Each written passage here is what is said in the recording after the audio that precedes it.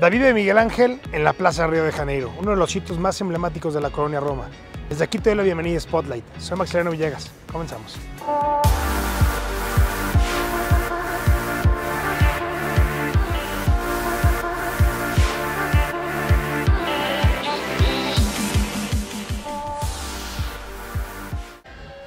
¿Están de acuerdo que un buen café siempre se agradece? Panadería Rosetta de los mejores lugares. Aprovecho para compartirte mis otros tres favoritos aquí en la Colonia Roma. Dosis Café. El entorno urbano y contemporáneo es el mejor complemento para una sabrosa taza de café recién salida de la máquina. Quentin, un espacio para complacer a los paladares más exigentes, ofreciendo siempre una exquisita selección de cafés nacionales y extranjeros. En Cardinal, desde la decoración se percibe la diferencia entre cafetería y casa de café. Ahí se va a tomar delicioso café, a leer o jugar ajedrez. La diseñadora Virgin Viard vuelve a estar en el spotlight gracias a la presentación de la nueva colección de la legendaria marca Chanel. En un escenario que refleja el atractivo intelecto de la diseñadora, se mostró como protagonista y pieza clave para el look de Chanel los pantalones. El impactante desfile que se llevó a cabo entre paredes de libros y un ambiente muy feminista y discreto presentó abrigos, trajes, vestidos de gala y accesorios como lentes, perlas, collares, cinturones, bolsos sutiles y muy elegantes. Llegó el momento de presentarles una manera muy divertida de hacer ejercicio, Fever. Una experiencia exclusiva de entrenamiento físico que combina el ambiente y música tipo nightclub con mucho ejercicio. Hoy nos agarraron en Spotlight en Fever Club porque vamos a empezar una mañana llena de ejercicio.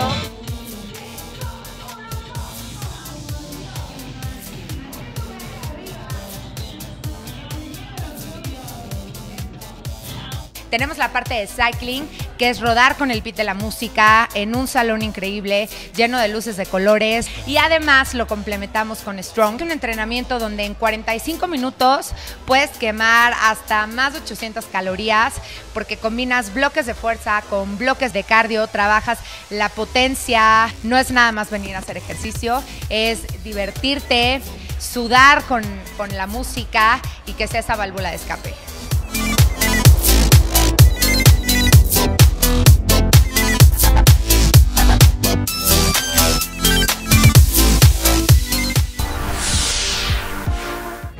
El reconocido crítico y periodista Álvaro Cueva nos comparte una muy rica plática desde el Hotel San Regis, México City.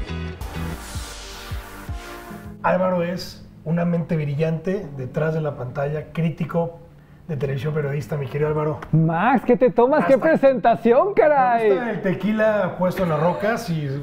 Muchachos ya saben, ¿eh? No, la verdad es que eh, es, un, es un gusto poder platicar contigo. Y no lo digo por, por quedar bien ni con la gente que nos ve ni contigo, sino realmente todos los días cuando me despierto, lo primero que hago es meterme a Twitter, a ver tu columna que escribes en Milenio ya desde hace muchos años. Todos los que trabajamos en el medio conocen y han escuchado a Álvaro Cueva, y si no, están equivocados de negocios, señores. Álvaro, eres una, eres una persona que no, 24 horas te quedan cortas para todo lo que haces en un día.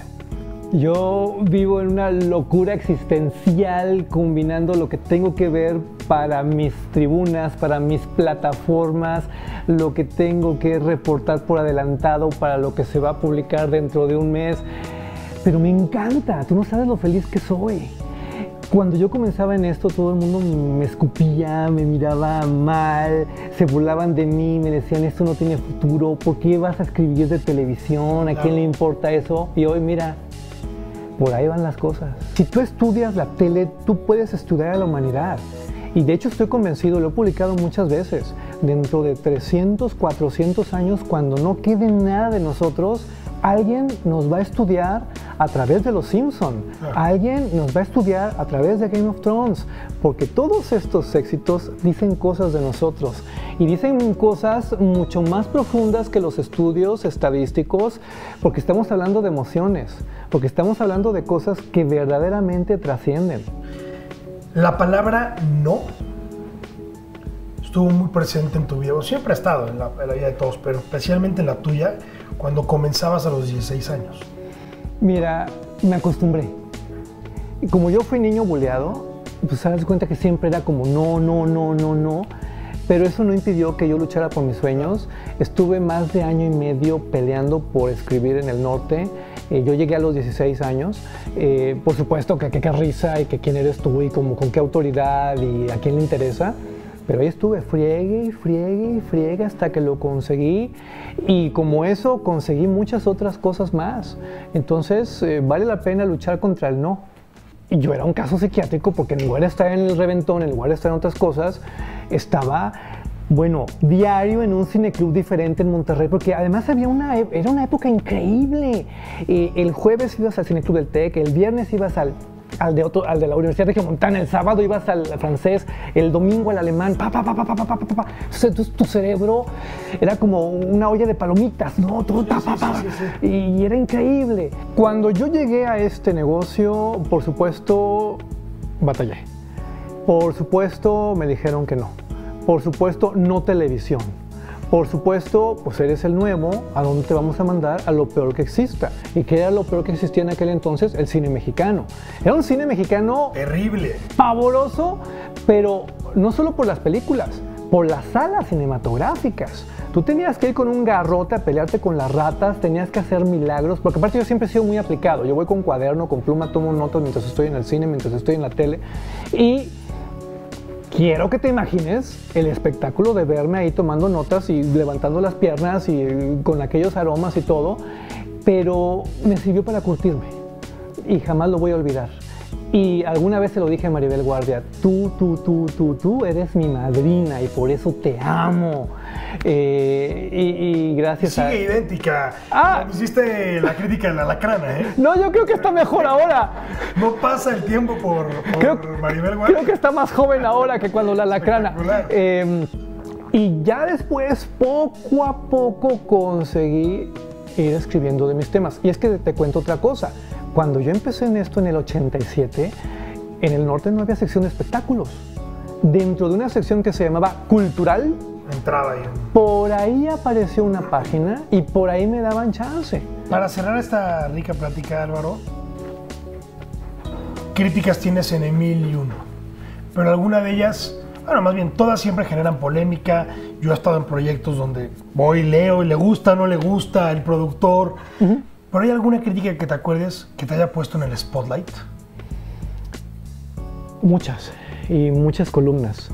Pero lo importante no soy yo, lo importante es la gente. Y eso es muy difícil de comprender. Por eso hay tanto periodista de espectáculos como con el cerebro distorsionado.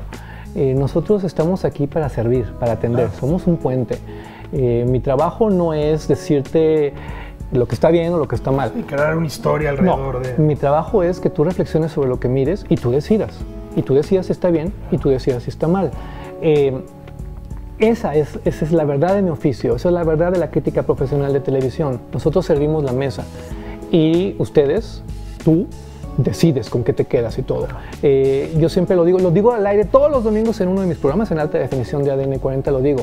El mejor crítico del mundo eres tú y solo tú sabes lo que te gusta. Porque tú y solo tú sabes si lo vas a ver o no. Eh, yo aquí te puedo, bueno, bailar y hacer show. Pero la neta, la neta, la neta, tú eres el que decides. Entonces, decide con inteligencia, decide bien. Álvaro, gracias por el tiempo. No, gracias, a ti. Y además te quiero felicitar por. Sabes muchas cosas de mí, estás muy grueso. No, hombre, con, la verdad es que me. Soy eh, apasionado por las entrevistas y cuando salió que, que, nos diéramos el tiempo tuyo de conversar.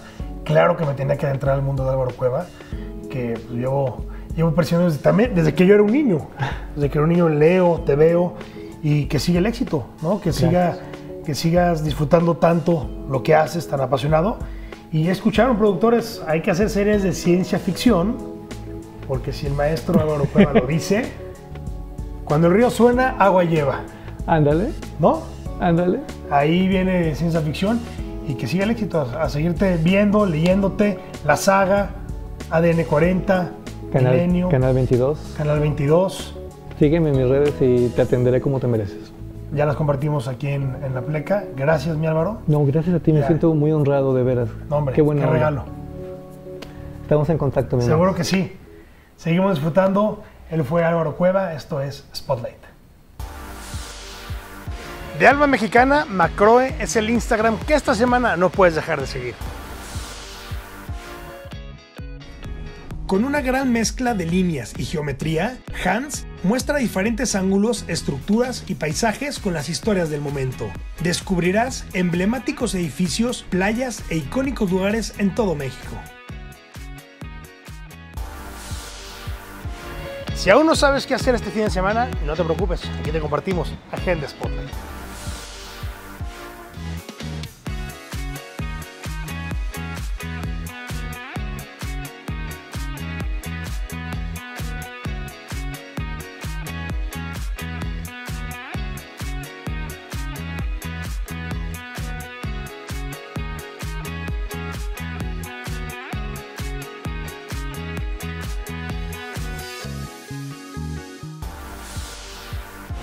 De esta manera llegamos al final de esta edición.